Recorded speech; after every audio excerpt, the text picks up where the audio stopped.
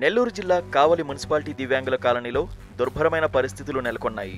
గతంలో పోరాడి సాధించుకున్న ఆదర్శ బేదా మస్తాన్రావు దివ్యాంగుల కాలనీ నేడు కోటి కష్టాలకు నిలయమైంది. పెద్ద పెద్ద లోతైన గుంతలను పూడ్చి నిర్మించుకున్న ఆ కాలనీలో నేడు వైఎస్ఆర్ కాంగ్రెస్ పార్టీ పదహారవ వార్డు ఇన్ఛార్జ్ పేరం వెంకటేశ్వర్ల దౌర్జన్యాలకు నిలయమైంది. మూడు రోజులు మేము రోజు ఎంక్వైరీ చేస్తుంటే ఏం మీరు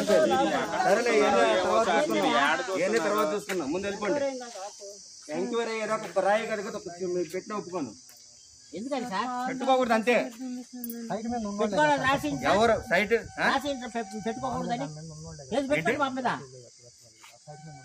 ఎవరు సైట్ మీద ఉండేది? ఎవరని మీరు తెలిసేదంటే మేము తెలుస్తాం ఇప్పుడు. ఎవరు ఉండేది ఎవరని మేము తెలుస్తాము. అంటే మా కాగితాలు మీరు కాదు. మీ కాగితాలు మీ ఇష్టం వచ్చిన కాగితం సృష్టించుకొని చేస్తే ఎట్ట నేను కుదురుతుంది? సృష్టించుకున్నావు సార్? మాకు తెలుసులే ఏమీ నేను సృష్టించుకోవాలా సరే నువ్వు వంద చెప్పు. కట్టడానికి లేదు. మా ఎంక్వైరీ అయిపోయే వరకు ఒక చిన్న ఇటుక వేసినా కానీ పడేస్తాం మేము. ఒప్పుకోం మేము. గతంలో కాలనీ నిర్మాణానికి ఉద్యమాలు చేపట్టి కాలనీ సాధించడంలో కీలక పాత్ర పోషించిన దివ్యాంగుల కాలనీ అధ్యక్షుడు మండవ వెంకట్రావుపై దౌర్జన్యాలకు సైతం వెనుకాడడం లేదు. పేరం వెంకటేశ్వర్ల అక్రమాలకు అడ్డు అదుపు లేకుండా పోయిందనే చెప్పాలి. దివ్యాంగులకు కేటాయించిన కాలనీలో రాత్రికి రాత్రి తన అనుచరులతో కబ్జాలకు శ్రీకారం చుడుతున్నాడు. అడ్డొచ్చి ప్రశ్నించిన వికలాంగులపై అక్రమ కేసులు బనాయించి ఇబ్బందులకు గురి చేస్తున్నాడు. అభాగ్యులకు అండగా నిలవాల్సిన రెవెన్యూ మరియు పోలీస్ అధికార యంత్రాంగం వైసీపీ నాయకుల అడుగులకు మడుగులొత్తుతూ ఉంది. వైసీపీ నాయకుల దౌర్జన్యాలు ఇలా ఉంటే కాలనీలో మౌలిక వస్తుల కల్పన అధ్వానంగా ఉంది. అంతర్గత రోడ్లు నీటి సదుపాయం సరైన విద్యుత్ సరఫరా లేక ఆ అభాగ్యులు అల్లాడుతున్నారు.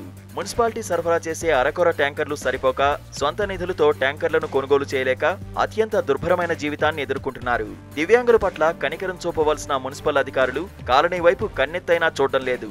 దివ్యాంగుల కాలనీలో అంతర్గత రోడ్లు నీటి సదుపాయం విద్యుత్ సమస్యలు వెంటనే పరిష్కరించాలని బాధితులు డిమాండ్ చేస్తున్నారు. ప్రధాన కార్యదర్శిని మళ్ళీ ముస్నూరు కాలనీ కావలి మన ముస్నూరు కాలనీ ప్రెసిడెంట్ వికలాంగుల కాలనీ ప్రెసిడెంట్ని. ముఖ్యంగా ఈ వికలాంగుల కాలనీ స్థాపించడానికి రెండు వేల ఐదవ సంవత్సరం డిసెంబర్ నుంచి మా యొక్క ఉద్యమాల ఫలితంగా ఒకసారి సెల్ టవర్ ఎక్కడం జరిగింది. తర్వాత ఒకసారి ఆత్మహత్యకి పూనుకున్నాము. తర్వాత ఐదు ఆరు సార్లు రిల్ ఆ, ఆమర నిరాహాధ్యక్షులు ఎన్నోసార్లు ధర్నాలు రి- రిలే నిరాహాధ్యక్షులు చేయటం ఫలితంగా ఈ కాలనీ ఏర్పడింది. ఈ కాలనీ రెండు వేల పదకొండులో పట్టాలు రాశారు. మద్దా వెంకటేశ్వరరావు అని ఆర్డీఓ గారు బీవీ రావు అనే ఎంఆర్ఓ చేత రాపిచ్చారు. ఆ కానీ మాకు పంచలేదు. రెండు వేల పదహారులో తెలుగుదేశం హయాంలో ఈ పట్టాలు పంచటం జరిగినది. బహిరంగంగా పంచటం జరిగింది. కానీ మేము మా యొక్క ఈ ఉద్యమాల ఫలితంగానే ఈరోజు యాభై సుమారు అరవై ఇల్లు కట్టుకొని ఉన్నాము. ఇంకా కొంతమంది బేస్ మట్టాలు వేసుకున్నాము.